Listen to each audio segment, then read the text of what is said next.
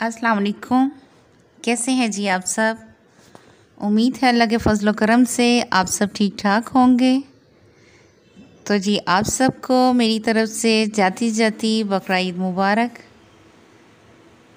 तो जी अल्लाह ताला के मेहमान आए हुए थे और अल्लाह की राह में कुर्बान हो गए।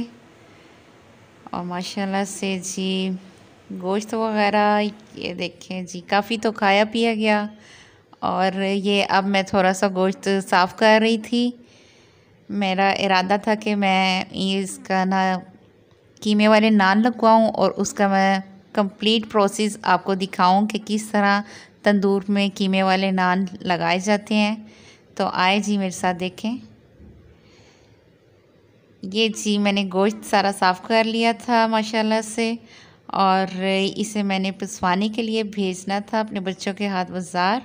और इसमें ऐड करना था जी अदरक, हरी मिर्चें और साथ में ये प्याज। ये भी मैंने अलहदा से पसवाना था। ये कि घर में भी मेरे पास चोपर था, मैं उसमें कर सकती थी, लेकिन मैंने कहा बाज़ार से करवाती हूँ, ज़रा और ज़्यादा अच्छी तरह बरीक पीस जाएगा। तो ये जी माशाल्लाह से अब मैं भेज रही थी पसवाने के लिए। गोश्त को अलहदा से और प्याज को अलहदा और अदरक और हरी मिर्चों को अलहदा से पसवाने के लिए। तो ये जी माशाल्लाह से कीमा पीस कर आ गया था और ये देखें कितना साफ़ सुथरा घर का साफ़ किया हुआ कीमा। कितना अच्छा ये देखें साफ़ सुथरा कीमा था माशाल्लाह से।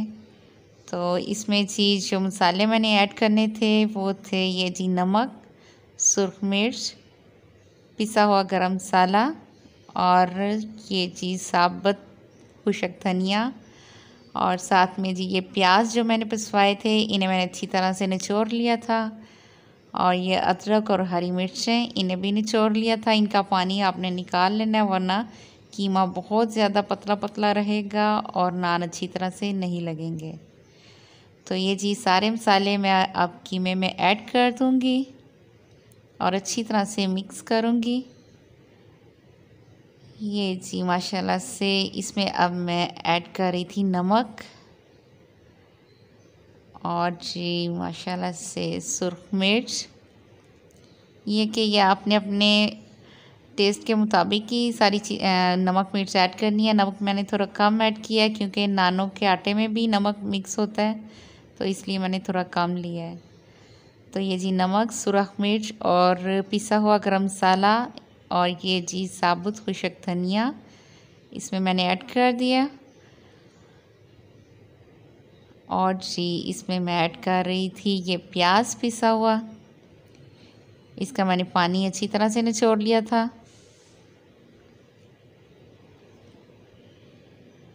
और जी इसमें मैं अब ऐड कर रही थी अदरक और हरी मिर्चें।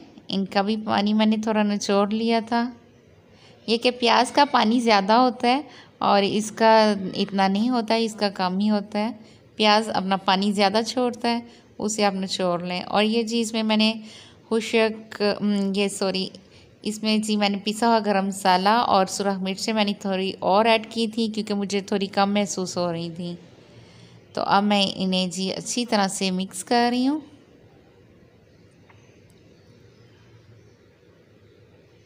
ये देखें जी, माशाल्लाह से इसे अच्छी तरह से मिक्स कर लेना है सारे मसालों को ताकि ये यकजा हो जाए बिल्कुल।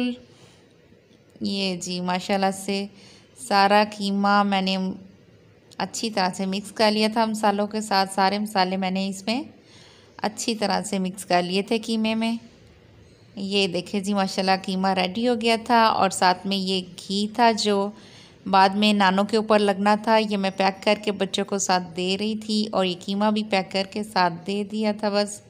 और बच्चे ये लेकर जा रहे थे तंदूर पर कीमे वाले नान लगवाने के लिए।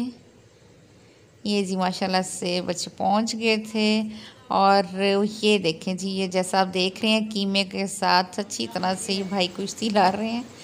दरअसल इसमें मैंने अंडे ऐड नहीं किए थे तो बच्चे बता रहे थे कि तंदूर वाले अंकल ने कीमे में चार अंडे ऐड किए थे।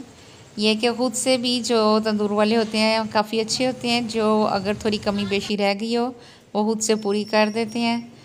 तो जी, इन भाई ने कि हमारा जो नानों का कीमा था, उसमें चार अंडे ऐड किए थे, जिससे कीमे वाले नान ठहर जाते हैं। कीमा नानों के अंदर ठहरा रहता, गिरता नहीं है। तो ये जी अब माशाल्लाह से फुर्ती से ये लगा रहे थे, इनकी आप फुर्तियाँ चेक करें अब।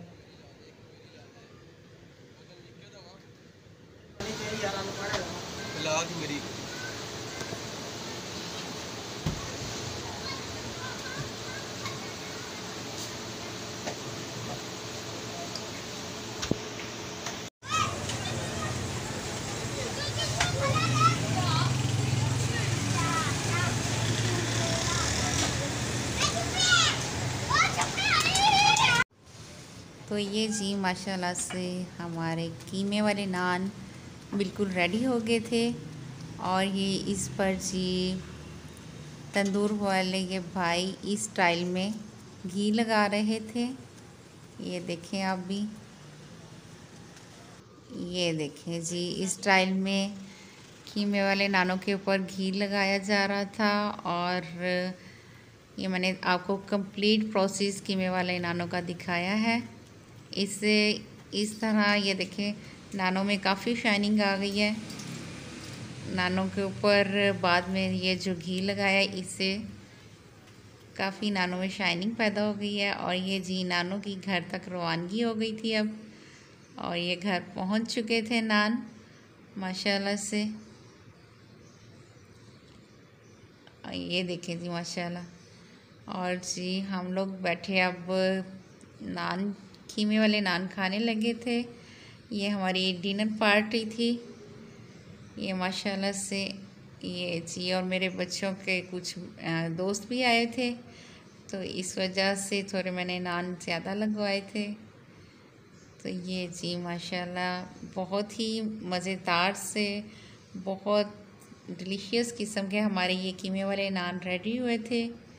ओके जी, इसके साथ ही मैं बस आप लोगों से इजाज़त चाहती हूँ। खुश रहें, खुश रखें। बहुत सारी दुआएँ आप सबके लिए भी और मुझे और मेरी फैमिली को भी अपनी दुआओं में याद रखिएगा। ओके जी, ईद को एंजॉय करें। अभी तो बहुत सारी ईद पड़ी है। अच्छा जी, अल्लाह हाफिज़।